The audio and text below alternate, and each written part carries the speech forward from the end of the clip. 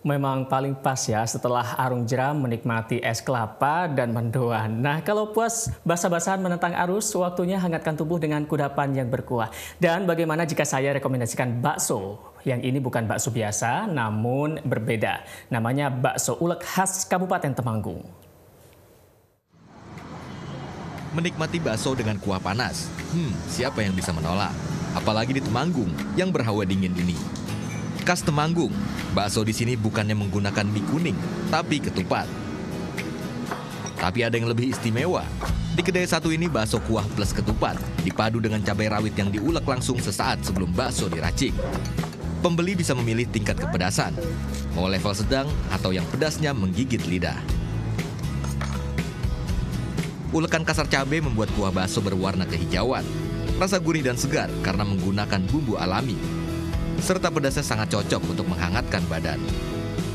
Dibikinnya cabai, cabainya diulek dulu, baru dikasih kuah. Kalau bakso yang lain kan kita makannya pakai sambal. Kalau ini kan enggak, kita milih mau level berapa cabainya, mau pakai cabai berapa. Ya, malah lebih ditonjolkan bakso, kupat, sama tahu. Itu aja. Terus ya nggak ada minyak itu masih cuma ya seger itu aja enak seger itu aja. Kedai bakso ini sudah berdiri sejak tahun 1962.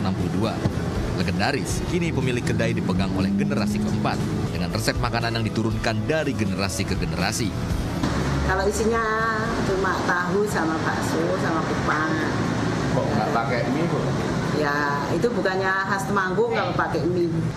Bagi yang mampir ke Temanggung dan ingin cicipi bakso ulek, pastikan untuk memberitahu penjual tingkat kepedasan yang diinginkan. Tak perlu ragu untuk tambah, karena harganya pas di kantong, yakni Rp10.000 per porsi. Widodo Setiawan melaporkan untuk NET.